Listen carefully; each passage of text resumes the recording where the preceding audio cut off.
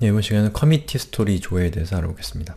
commit history라는 것은 무엇이냐면 commit이 뭔가요? 커밋은 여러분이 작업한 source code의 변경점들을 저장소에 차곡차곡 쌓아놓을 때 어, 하는 행위가 바로 commit이죠. 그러니까 commit history라고 하는 것은 지금까지 여러분들이 해왔던 commit들의 역사를 이 조회할 수 있도록 하는 것이 commit history라고 합니다. 다른 말로는 log라고 하죠. 여기 저장된 컴, 저장소에 commit된 이력을 조회한다고 적혀 있죠. 용법은 이렇게 있는데요. 앞쪽에 뭐 옵션을 적고 뒤에는 어, review를 하고자 하는 파일명을 적는 거죠. 저기 예제가 있습니다. 자, 지금 이 commit의 history를 우리가 조회하기 위해서는 좀 풍부한 예제가 필요해서요. 어, 지금까지 작업했던 뭐 Hello World 시리즈로는 어, 너무 로그 양이 작, 작습니다. 그래서 제가 여기, 여기 준비해 놓은 GitHub에 URL이 있습니다. 이거를 카피해서 어, 이 URL로 방문을 해보시면 GitHub라고 하는 서비스에서 현재 어, 서비스되고 있는 어, 저장소를 에 접근을 할 수가 있습니다. 이 저장소는 현재 이 트위터라는 회사 있죠? 트위터에서 오픈소스로 공개한 이 툴팁 어, Toolkit이죠. 이 toolkit을 오픈을 했는데 Bootstrap이라고 하는 이름으로 오픈을 했습니다. 그래서 여기 있는 요 GitHub의 URL을 카피해서 여러분의 local 컴퓨터에다가 적용을 시키는 것을 지금부터 살펴보겠습니다. 자 그러면 여기 제가 미리 Bootstrap이라는 걸 만들어 놓긴 했는데요. 자 제가 디렉토리를 하나 새로 만들고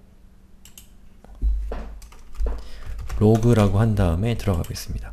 요거는 제가 여러분들께 샘플을 보여드리기 위해서 만든 디렉토리고요. 여러분들 지금까지 작업했던 디렉토리에다가 새로운 폴더를 만들고 어, 아, 새로운 폴더를 만들지 않아도 됩니다. 자, log라고 되어 있는 여기, 여기 서 오른쪽 클릭하고 자, git bash라고 하는 항목을 선택하면 보시는 것처럼 이렇게 명, 그 프로그램이 실행이 되죠. 맥이나 다른 운영체에서는 그 디렉토리 이동을 하시면 되겠습니다. 그리고 이렇게 적는 거예요. git 클론하고 방금 카피해온 URL 있죠? 요거 있잖아요. 요 제가 적어놓은 요 부분 있죠? 아 정확하게는 이 GitHub에서 제공하는 이 URL입니다. 예, 요게 이제 이 트위터에서 제공하는 부트스트랩이라고 하는 저장소를 가리키는 고유한 URL 값이에요. 그래서 여기다가 https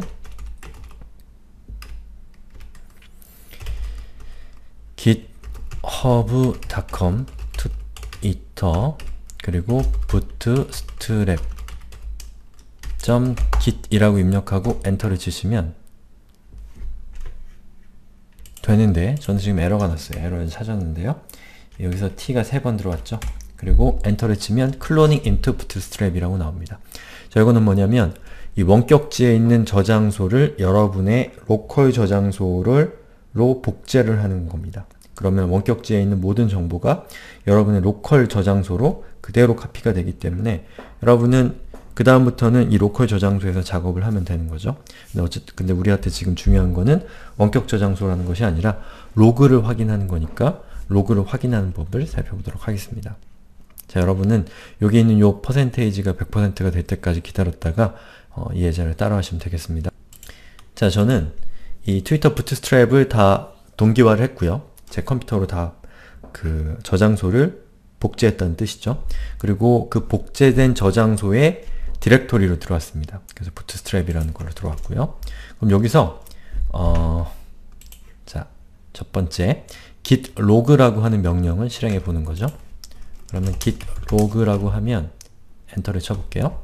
보시는 것처럼 커밋하고 여기 이상한 문자가 있죠. 그리고 뭐지, 뭐 누가 이것을 커밋했는지, 그리고 커밋한 날짜, 그리고 커밋했을 때에 이 사람이 작성한 작업 일지 이런 것들이 이렇게 나와 있습니다. 그래서 이 기록을 보면 누가 어떤 작업을 했는지를 어, 최신 순으로 확인할 수가 있게 되는 거죠. 네. 그리고 Q를 누르면 현재 이 상태에서 벗어나게 됩니다. 자, 그 다음에 또 다른 옵션을 볼게요.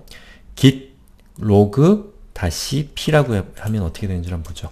git log 다시 p 하고 엔터를 치면 자, 보시는 것처럼 아까랑 비슷하게 커밋이라고 나오죠. 그리고 누가 커밋을 했는지, 언제 커밋을 했는지가 나오고 요 밑에 보시면 요 두 번째 거 여기 보면 이렇게 붉은색과 녹색으로 표시되어 있는 거 보이시나요?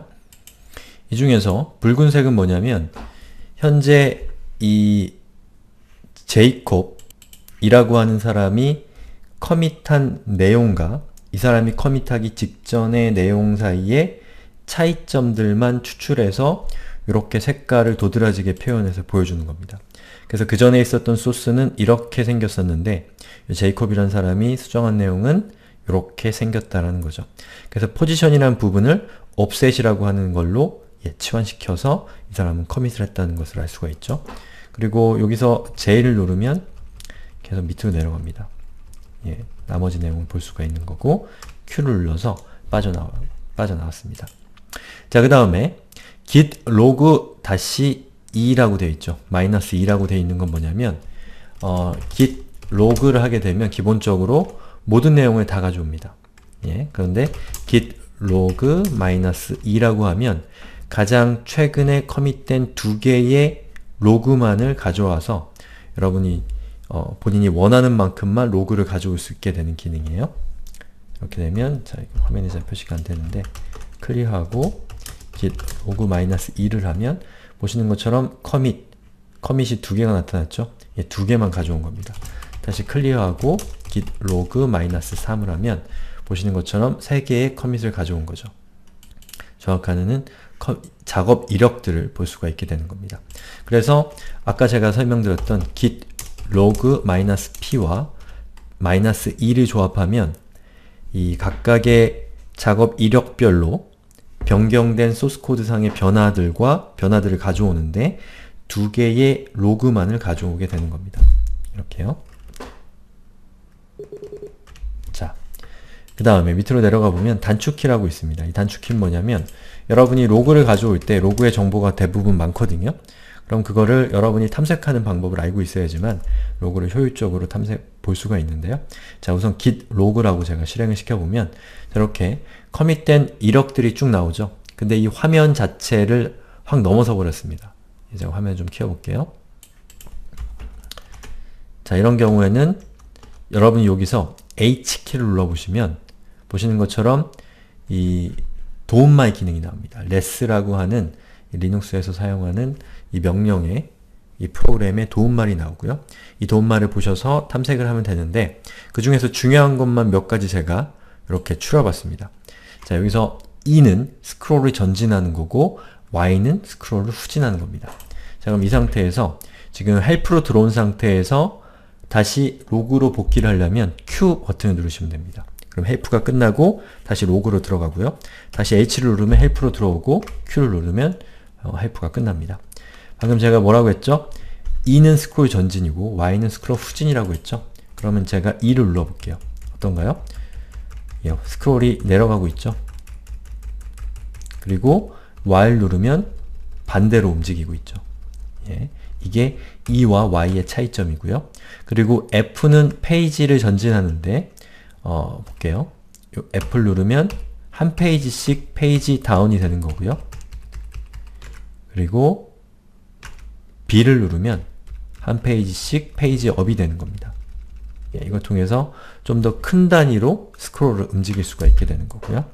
그리고 만약에 어떤 검색하고자 하는 내용이 있다. 그러면 이렇게 하시면 돼요. 자, 이 상태에서 어, 슬래시 물음표 밑에 있는 슬래시를 누르고요. 만약에 트위터라고 하는 내용이 포함되어 있는 어, 로그를 검색하고 싶다. 작업 이력을 검색하고 싶다면 이렇게 슬래시를 하고 twitter이라고 한 다음에 enter를 누르시면 보시는 것처럼 트위터란 내용이 포함되어 있는 이 로그 텍스트들을 이렇게 검색해 줍니다. 그럼 그 상태에서 자 여기 다시 들어가서 소문자 n을 하게 되면 가장 위에 있는 트위터라고 하는 내용을 가지고 있는 가장 위에 있는 검색 결과부터 그 다음 검색 결과, 그 다음 검색 결과 이렇게 점프를 하게 되는 거예요. 자, 제가 지금 누르고 있는데요. 점프를 해서 지금 여러분이 선택한 부분이 제일 위로 올라가게 되는 거죠. 그리고 만약에 어, 뒤에 있는 검색 결과로 다시 돌아가고 싶은 경우에는 Shift하고 N을 누르면 예, 뒤로 돌아가게 됩니다. 그래서 N은 밑 다음을 다음 검색 결과로 가는 거고 Shift하고 N을 해서 대문자를 하게 되면 그 전 검색 결과를 찾게 되는 거죠. 자, 지금까지 제가 여러분이 이 트윗, 그, 깃을 이용해서 로그, 작업 이력을 검색하는 방법에 대해서 알아봤고요. 이 작업 이력을 검색해야지만 먼저 뭔가 문제가 생겼을 때 그 문제가 된- 생긴 부분을 찾는다거나 아니면 누가 어떤 일을 했는지를 리뷰한다거나 이런 것들을 할 수가 있는 거기 때문에 여러분들이 작업 이력을 정확하게 이해하는 것은 아주 중요한 부분입니다.